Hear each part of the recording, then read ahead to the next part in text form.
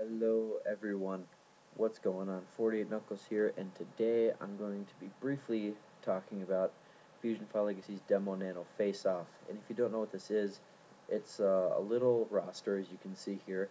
Um, they're going to be pinning two nanos against each other, and you, the fans, will be able to vote on what nano you want to be in the demo, which is going to be released within the next few months. Um, so there's not going to be just one nano, there's going to be more than one nano but uh, they want you to vote here.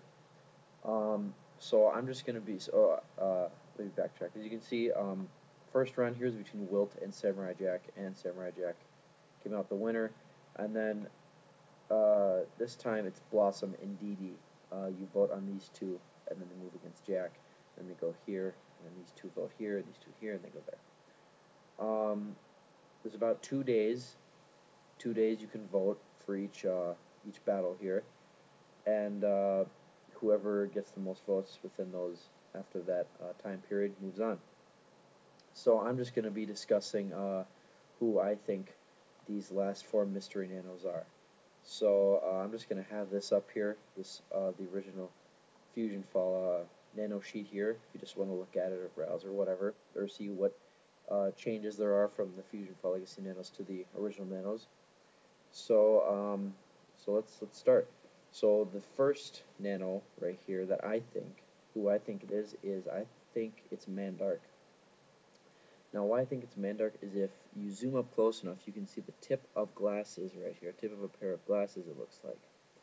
Um, and the only two people who wear glasses, uh, well, real glasses, are Dexter and Mandark. People wear sunglasses, Johnny Bravo never won. They don't really count since they're not pointy like those glasses are and you can see the head kind of rounds off up here. It's kind of flat on the top of the head, just like Mandark here. Um, another uh, person obviously would be Dexter. They have the same glasses, but their hair is a little different, so I have a feeling it's going to be Mandark um, for that nano there. Next one, I believe it's Johnny Bravo. Uh, why I think it's Johnny Bravo is you can see here, this looks like some hair going up this way, and Johnny Bravo clearly has some uh, some spiked up hair there. So it's going up here. And down here it looks like his chin or some of his face. And so his chin kind of sticks out too.